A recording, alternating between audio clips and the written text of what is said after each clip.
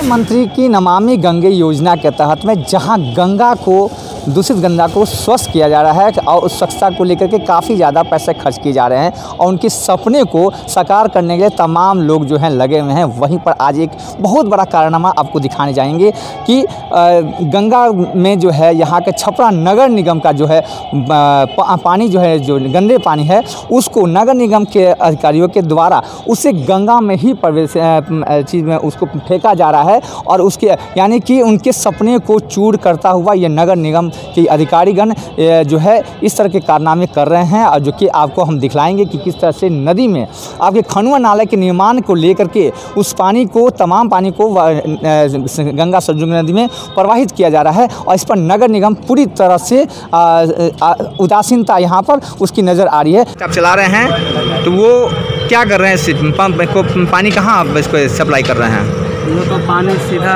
दरिया में गिरा है। मतलब पूरा छपरा का पानी सब दरिया में गिरा। यहाँ सारा पानी जो आ रहा है जो शहर का शहर का नाले का पानी सब यहाँ आ रहा है। और यहाँ से क्या कर रहे हैं इसको आप? और यहाँ से मतलब सप्लाई कर कर पाइप के हाँ। पाइप के द्वारा मतलब सप्लाई कर कर और उधर गंडक में गिरा है। सरजुग नदी में गिरा रहे हैं। तो ये तो नदी में पानी दूषित पानी फेंकने का आदेश तो नहीं है?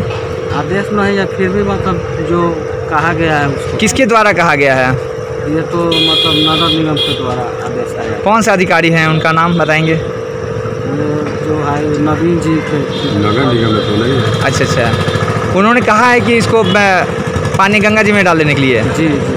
जब हम इस संदर्भ में नगर निगम आयुक्त संजय उपाध्याय से मैंने बात करने के लिए वहाँ वहाँ उनसे मिलने पहुँचा तो उन्होंने साफ़ साफ़ मना कर दिया वहाँ से कि हम इस पर कोई बात नहीं करेंगे इस पर नहीं किसी प्रकार का उन्होंने मिलने से हमें मिलना चाहा और इस तरह से उदासीनता यहाँ सामने नज़र आ रही है कि, कि प्रधानमंत्री जो देश के प्रधानमंत्री हैं और उन्होंने नमामि गंगे के तहत में कितने बड़े प्रोजेक्ट को उन्होंने पूरा करने के लिए सभी अधिकारी और जनप्रतिनिधि लगाए गए हैं।